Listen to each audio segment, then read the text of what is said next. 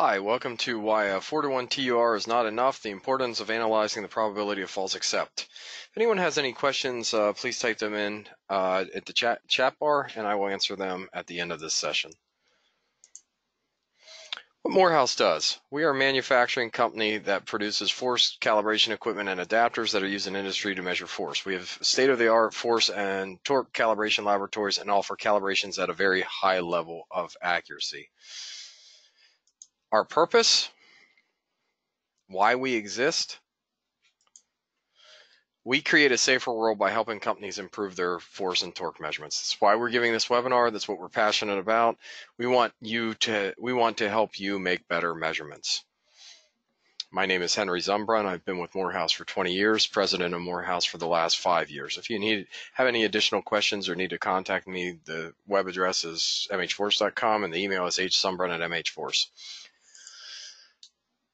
So this crazy guy about 25 years ago used to approach the acceptance limits of how much beer his body could handle. Uh, wrote a paper and now is having a webinar on why 4 to 1 TUR is not enough. The importance of analyzing the probability of false accept.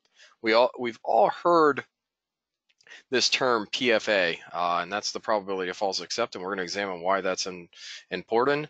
And we're going to start with you know why write this paper? You know, several organizations and publications reference or insist on maintaining a four to one test uncertainty ratio, TUR, without understanding the level of risk that they may be subjecting themselves to. The general thought is that as long as a lab performing the calibration has standards at least four times better than what they are calibrating, that everything is good.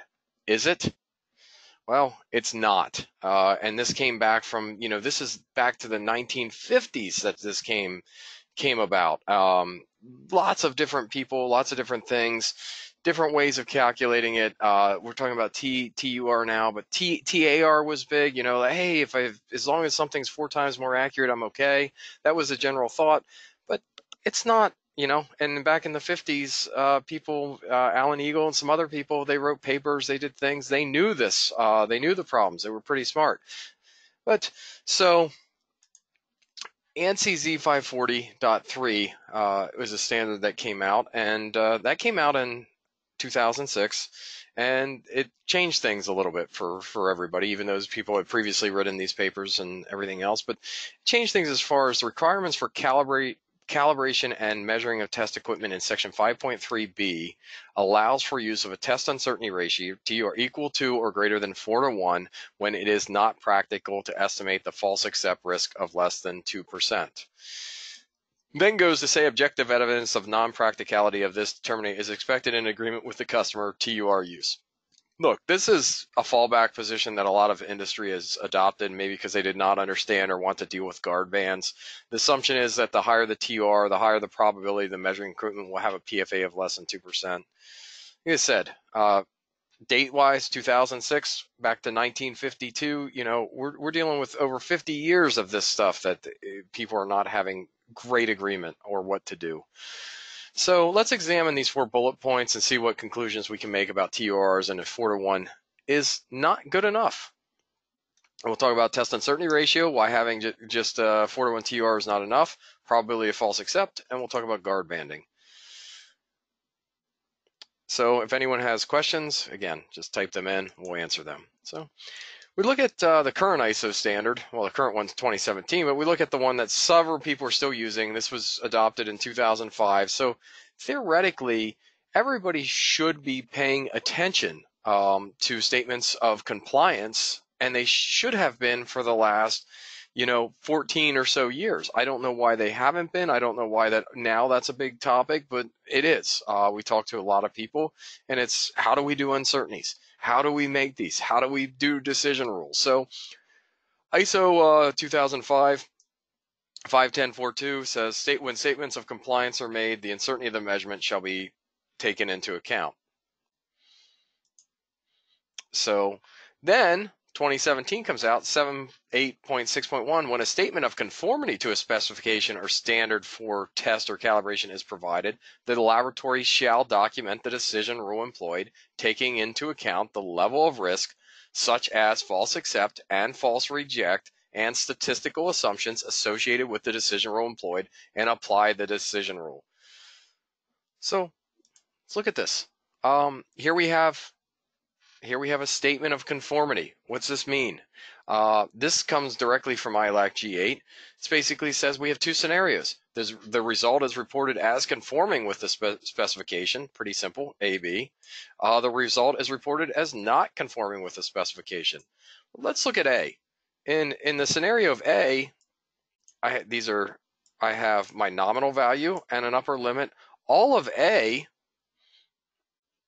and the uncertainty, there's the location of A right here, this the little blue dot, and then the the the, the bands are the uncertainty. Everything is in. There's there's zero risk in this uh, as long as people are following the right procedures, using the right adapters and everything else. But if we're just paying attention here to location of the measurement, everything's good. Now in the B scenario, a lot of people are going to say this is good. Hey, we're in tolerance, but about a third when you look at the uncertainty, maybe the lab that's doing the calibration, maybe the resolution's high, I don't know. When you look at all of this, it's more than likely it's the lab that's doing the calibration. They have a higher uncertainty, and therefore when they make this measurement, a third of it's out. So there's we call that, we say that's 33%. Whatever's out is risk, and we say that's risk.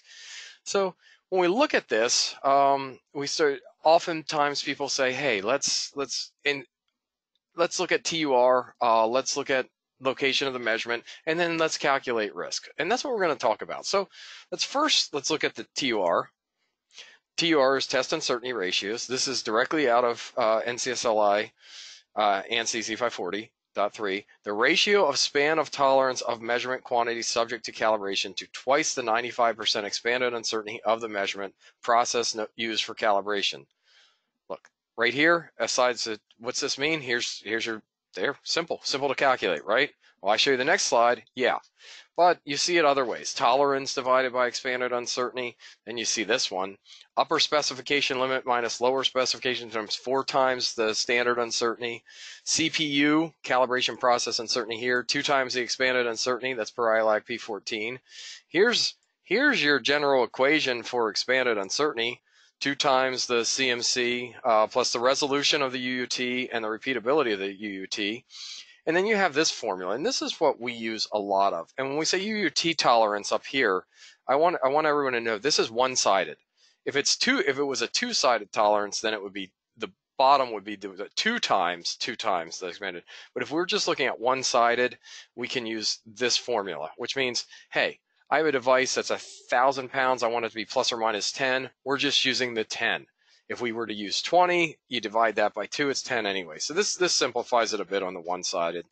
Um, and it's, but it, this is for when tolerance is symmetric and we're using, yeah, and dividing by the expanded uncertainty. So it needs to be symmetric for that, that one really to work. But so let's look at this.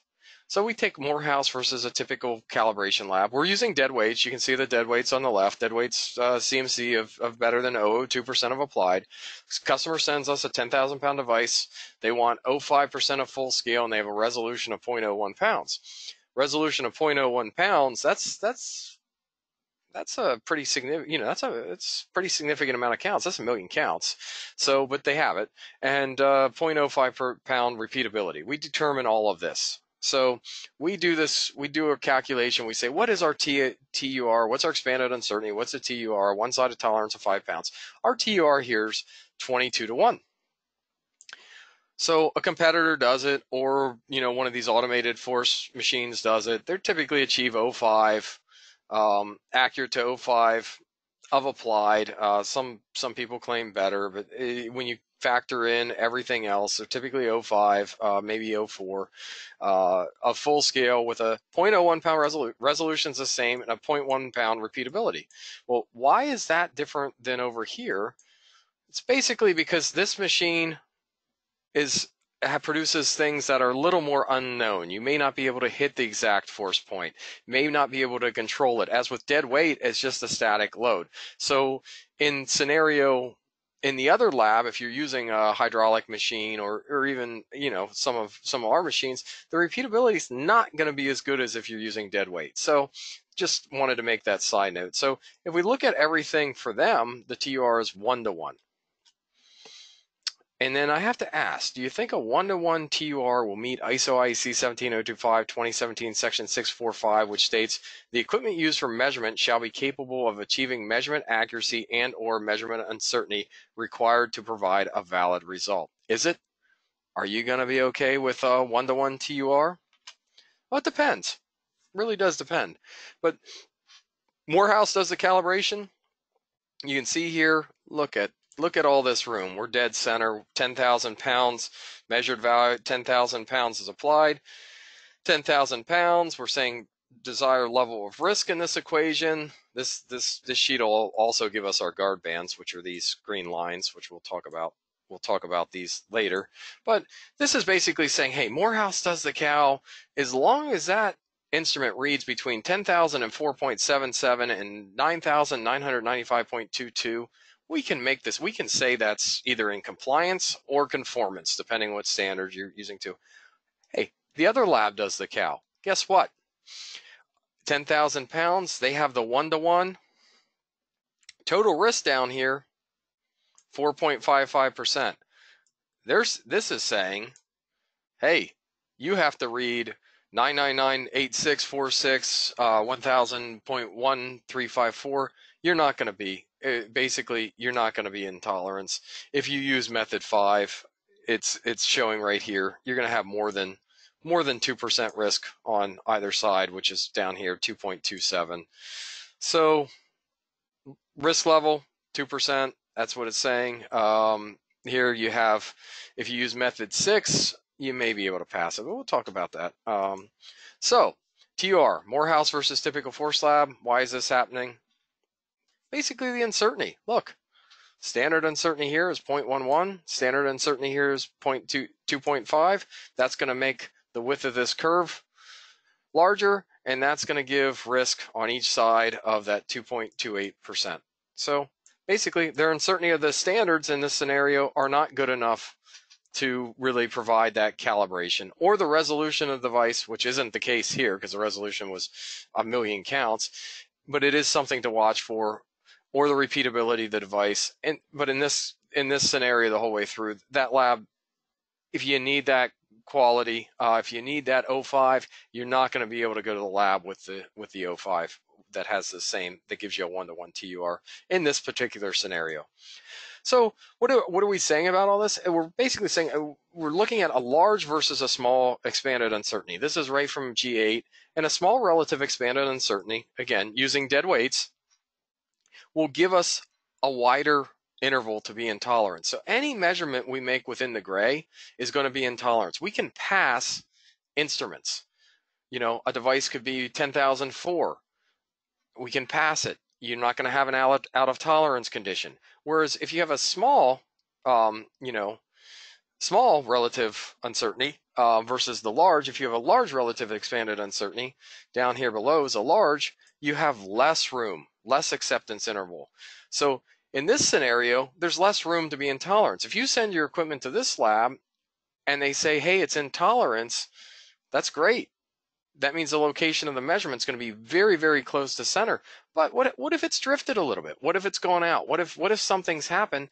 More more often than not, they're going to say, "Hey, your device is out of tolerance. The probability of false accept is 10% or more. And that's really the decision rule applied back to the standard. It's really saying they need to do that. So what what I think you're going to see happening more and more as people implement this standard is more people are going to get out of tolerance conditions because they're going to they're going to use the proper equations and they're going to analyze the level of risk. And when that risk level, when, when a customer submits something or to you and they say, hey, I want the decision rule employed and I want that PFA reported, it's going to be higher than 2% in the cases where those labs have the large relative expanded uncertainty most of the time because they have a much, much smaller acceptance interval.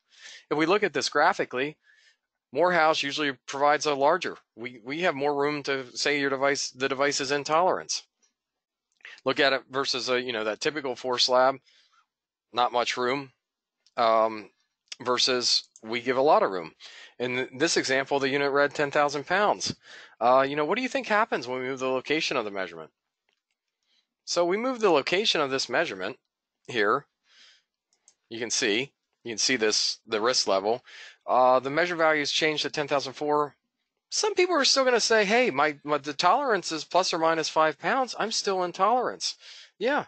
Well, if it reads 10,004 when Morehouse calibrates it, it is still in tolerance. When the lab with an uncertainty parameter of on their CMC of 05 calibrates it, the risk goes from 4.55 to 34.47. So the question is, is anybody that's making measurements okay with 34.47 in this scenario?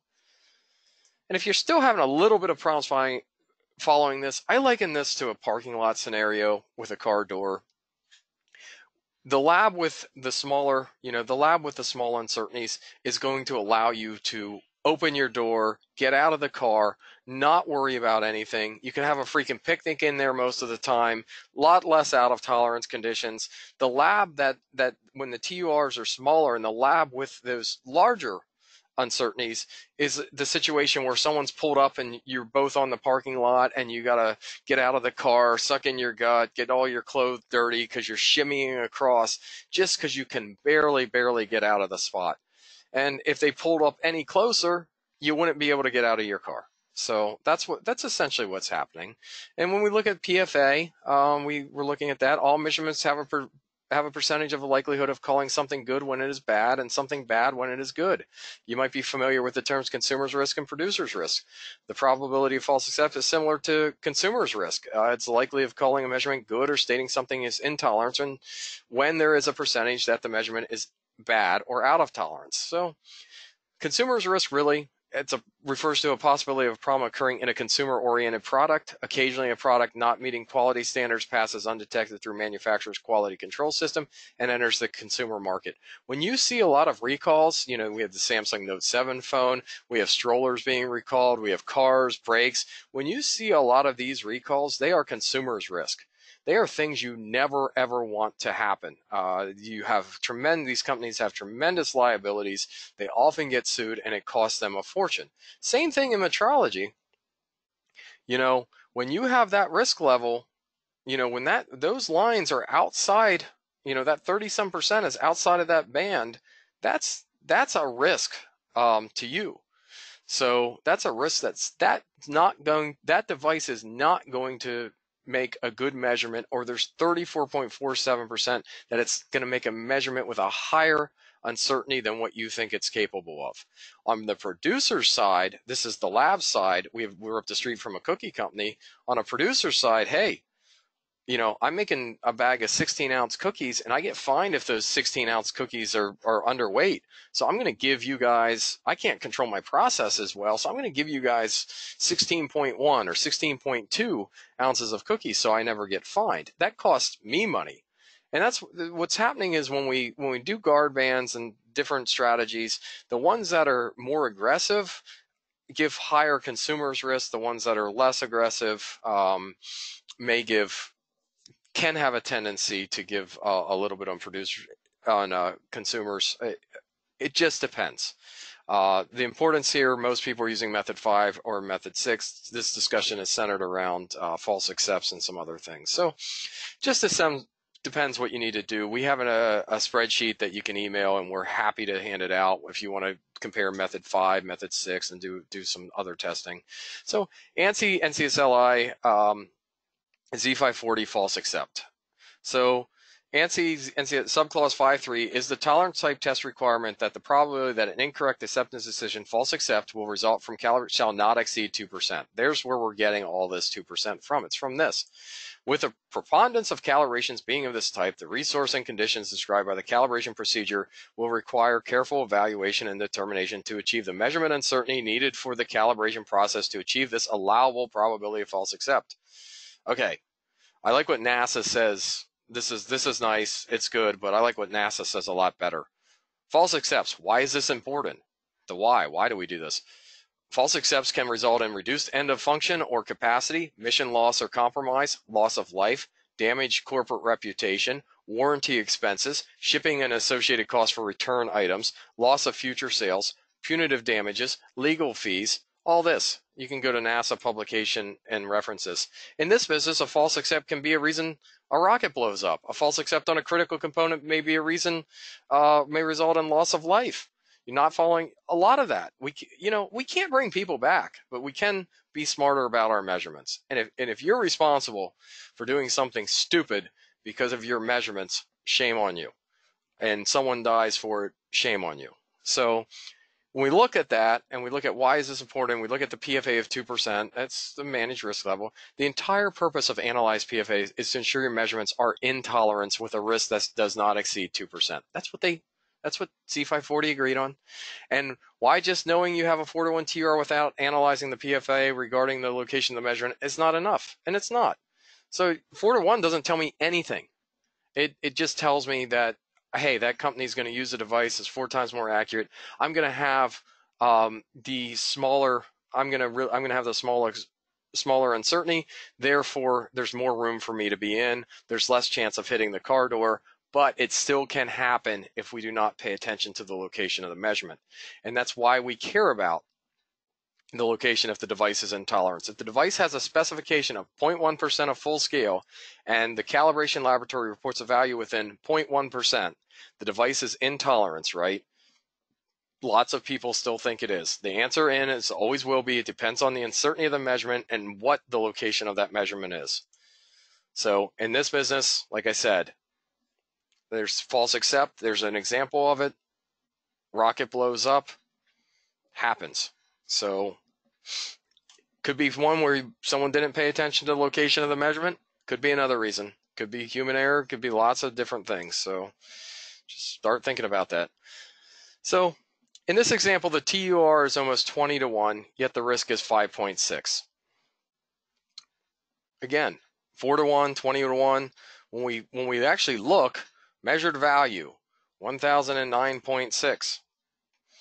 10,000 pound load cell with a 0.1 pound resolution, very believable. In this scenario, if we measure that, people, some people are going to say this is intolerance. It's not. Standard is certainly 0.25. People may think it's intolerance, but it's intolerance with a risk of 5.6%, so it does not meet that 2%. So this is a specific situation that actually happened. So help me out. Is 5.6 greater than 2%? I ask as I've seen contracts written, where the requirement is 0.02% of applied force, and the company that wins the contract can only achieve 0.5%. What does that look like? Does that work? Well, here's what that looks like. Tolerance requirement of 0.2. Calibration lab can only do 0.5. Location of the measurement, perfect. In this case, 43 42.37% risk. All this, all this that hangs outside of the curve, that's all, all of it right here, all risk. So is that okay? You know, that's the reason that's, and I mean, part of the reason these things happen. You know, failures to be inevitable in the wake of, look, failures appear to be inevitable in the wake of prolonged success, which encourages lower margins of safety. Uh, companies get complacent sometimes, and when things are good, they worry less and may not make the right preventative actions. Remember the BP uh, refinery that blew up? Trace back to calibration.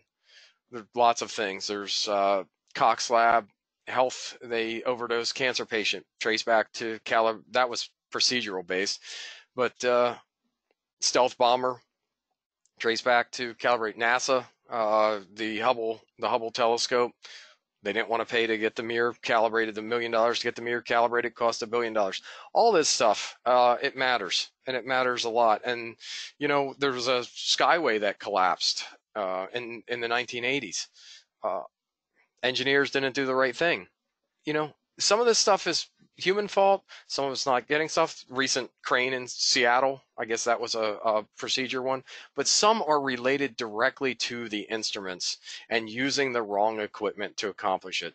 And this is why the risk matters. If we're trying to balance a hydro turbine, you know, and we're using load cells or that aren't capable of giving us our, our measurements, and you know, we're not going to detect if we need to take take stuff out for that to spin properly. A windmill, all all, all kinds of different different products uh, need these measurements to be very very accurate. A satellite, you send a satellite into space and you don't measure it properly, it's going to wobble. Uh, wobbly satellites no good to several people, so that's it's problematic and can cost a lot of money. This situation uh, arose in a lot of deaths, and it was stupid. Didn't need to happen. So, on to when TUR does not matter. A 4 to 1, 20 to 1, 100 to 1, 1,000 to 1, million to 1 does not mean anything to anyone if the instrument is right on the tolerance limit. If you look at this example, TUR is 31.22 to 1. We are right on the tolerance line, and our risk is always going to be 50%.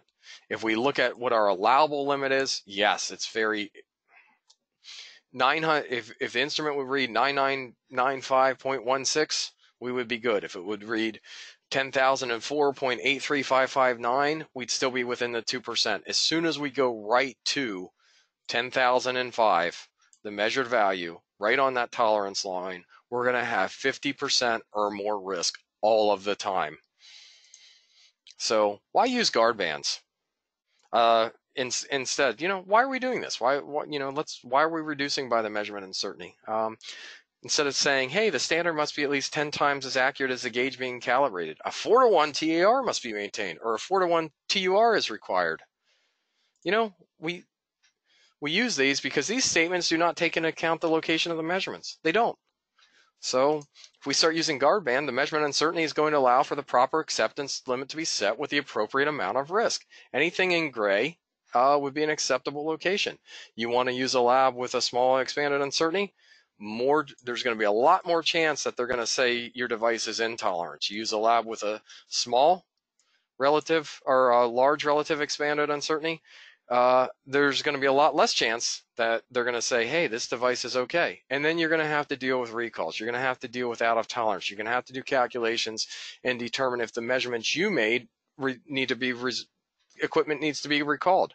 So it's really, really costly if you get a scenario where someone says, hey, I need this device to conform to this, this specification, and the Cal Lab says it does not. You're left with what do you do? Let's understand this a little bit more. We're going to talk just a brief about uncertainty. Starts with SI units. Force, torque, uh, composed of SI units of mass, length, and time. We we go. We, we're using primary standards that the National uh, Metrology Institute here, NIST, they they're running of, of about four parts per million standard uncertainty. Morehouse, our big dead weight machine, was calibrated. All the weights were done by NIST. We're about eight. Uh, we we we follow A2LA's recommendation R205 to have the five R's in the E, and we we run around 0.008 when we do our full uncertainty. And then you get down to the credited cal suppliers, and they run around O2. All these get multiplied by two when we're looking at looking at everything, working lab, field measurements. And then it, the important thing is the further you get away from this, the larger the uncertainty becomes. So that larger uncertainty is going to give you, you know, that less chance of calling a device intolerance. And uncertainty, uh, you know, what is that? It's a value, best definition I've heard, value assigned to doubt. You know, people say I'm uncertain. What is uncertain? It's doubt doubt the validity of the measurement. So value assigned a doubt about the validity of the assigned calibration value. Documented measurement uncertainties are required on calibration certificate to support metrological traceability. That's the exception is when the customer agrees to not having the measurement uncertainty reported. But if the customer agrees to that, they cannot use that device to further disseminate any measurements. They can basically say go, no go. So guard banding. Uh, it's one tech. It's what we're talking about. Uh, how do we determine this? How do we do it? It's one technique to protect against uh, conformity decisions caused by measurement uncertainty, where the region of permissible values of the entity's quality characteristics is reduced in proportion to the actual measurement uncertainty.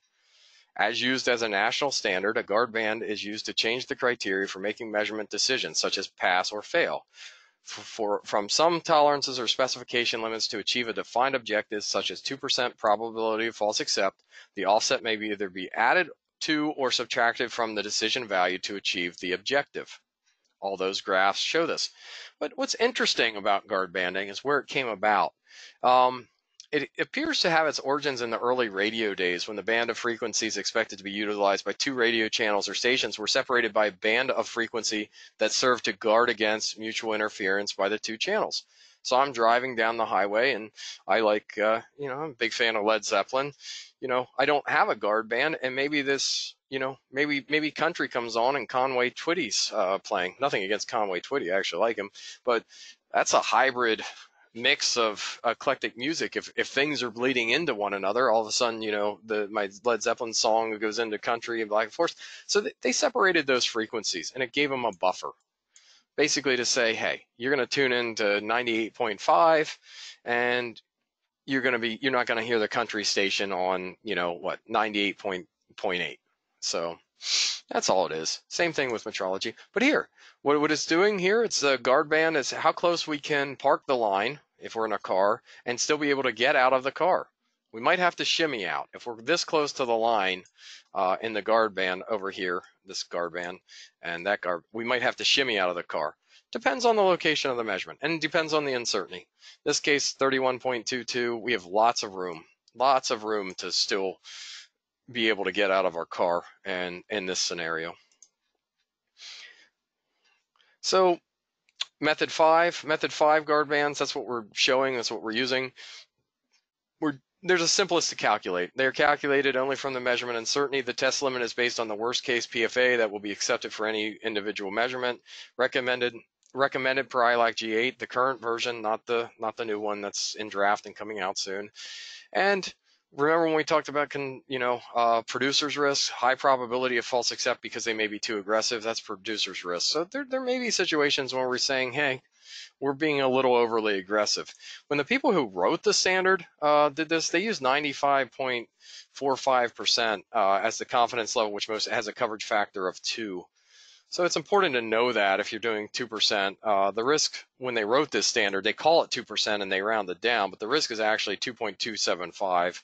And this is just a, an example if you if you go by them and it shows it's 2.27. So important to report guard band with uh, guard band with uh, the 2.5 risk 9995 guard band with 2% 2% gives you a little less room uh, when you when you when you understand it fully. But at 95% or two and a half hour limits would become. And you can calculate these. All of this can be calculated. Uh, just important use maybe useless information maybe some interesting if you start doing the math and, and don't have it work out for you and, and that's why so it will work on on these scenarios the sheets that we have available for download will work so it says measured value here 9 996 point 029. We go back to that at 2, 2.6 at 2% risk, 996.029. So these both agree. And draw the graph. What's the risk? 2%. So formula works. Here's an example. We document the rule here. We're reporting the expanded uncertainty. We're reporting uh, the measured value. P14 measured value plus, you know, Y plus or minus U, reporting all that. We're also reporting the TUR here and a PFA and a compliance. So it's pass, specified tolerance. Um, there's a decision rule. All of these instruments, you can see what they read, acceptance limit, upper, lower, where, where the measurement is, where the location is, what the risk is. See, look, it's zero when the measurement as perfect location. And then as it creeps, you know, just a little bit 50 counts up, it becomes 0.063. If that creeped up a little bit more, it would be out of tolerance. So something to look at. Putting it in more perspective, here's here's a piece of equipment we sell. It's a portable calibrating machine. It does 2,000 pounds. It calibrates, you know, analog force gauges, handheld force gauge, load cells, everything else. But if we look at it, uh, typically expanded on, you know, we look at the CMC expanded uncertainty parameter, the calibration measurement capability parameter on the scope, expanded uncertainty. Uh, what, what a lab is capable of. It, this is generally 02% of applied. Some people claim 025. Some people claim 03. Depending how many load cells, how many standards you have, you can achieve 02 with this machine. It may require you to purchase three, three, three load cell standards. This this thing on the bottom. But can we calibrate? This different equipment. So look at the force gauge. Yeah, pretty much. We have lots of room on each side. The specification's high, but we can only, the instrument needs to read between 995.4 and 1004.6. You know, again, people think plus or minus five, I'm in, right? No. This force gauge, it needs to be 995.4 to have less than the 2% risk. Here, you can see where we are, measured value, and you can see the total risk is 0.03. If we move just a little bit more, we're going to be past. We're going to be past that uh, that two percent. So here, uh, 500 pound digital 0.1 percent. some people think on this I have plus or minus half a pound. Eh, if you want to make a statement of um, conformance, um, statement of compliance, no, you do not. Uh, and you want to do it with less than 2% risk, no. You have plus or minus 0.3 pounds, 4997 to 500.3. In that case, in this case scenario, TUR 4.33, you have, as long as you're within those bands, you're good. Here's a situation we're looking at both method 5 and method 6 in this situation. I want to do another load cell. I want to do a load cell with a tolerance of 0.025. Well, our TUR is approaching 1 to 1, but it's 125 here. We can do it. If we're using method 5, we have very, very tight acceptance limits, you know, plus or minus 0.1 pound at 2000. If we're using method 6, and the sheet does this as well, if we're using method 6, we have a little bit more, eh, about 0.33. So it gives us a little more room you know, it's uh, it's definitely not as conservative as method five, but it's also acceptable practice to use method six to get a little more room to to be in. And, and this graph shows it. You can see the, the specification, the different methods. So conclusion, uh, the decision rule applied should eliminate the assumption that a four to one or better TUR uh, allows a claim of compliance deemed to meet the 2% PFA requirement. The TUR only shows a ratio, and if that ratio is too large, a laboratory may not be able to make a statement of compliance or conformance with either uh, ISO IEC 17025 standard. PFA is all about location, location, location, just like real estate. Uh, four to one or better TUR is not enough, and uh, I stress the importance of analyzing that location of the measurement uh, to making sure the measured value falls within the acceptance limits calculated by the accepted guard band method used. And something you may want to consider if you're a lab, this is where we're going to. We will say the device passes CAL if it's within this guard banded. We will say there's a conditional accept. It's up to the end user to determine if the risk is too large. If it's in this ra range, and then a conditional reject, which is kind of the same thing. There's, you know, there's still some room there. The risk might seems a little high, but it might be might be uh, might not be good. And then if it, if it's beyond the uh, tolerance plus the uncertainty of the measurement, we fail. And that's just it. So this area right here, the customer or you have to make the determination is the risk greater than I can live with? And if so, I may need to adjust it. I may need to get better equipment. I may need I may need to change depending who your cal provider is, I may need to change my cal provider because they're not giving me they're giving me out of tolerance all the time. So if you want to lower both, you use the right calibration provider and have them replicate how the device is being used. That's very important. Uh, we we take pride in what we do. Our contract review our working with people to help them make better measurements as our purpose statement. I mean, we we help you make better measurements. Um, we do this through lower you know lower uncertainties, uh, which lower lower your risk on most things.